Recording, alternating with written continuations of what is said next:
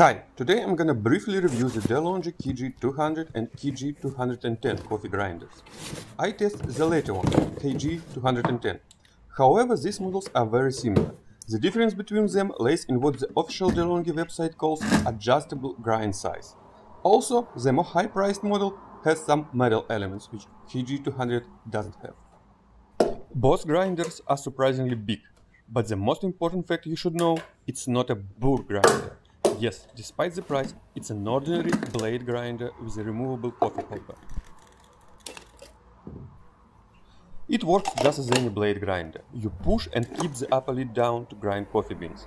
However, this very upper lid has a pure design. The rubber seal inside it collects ground coffee, which spills out every time you open it, so KG200 and 210 are very messy. But let's go back to this mysterious grind size adjustment function to understand how it works. Well, it doesn't work at all, because it turned out to be a simple timer. Just an ordinary timer which switches on the light indicators, coarse, medium, fine, after some pre-configured time. It has nothing to do with real grind level adjustment of course.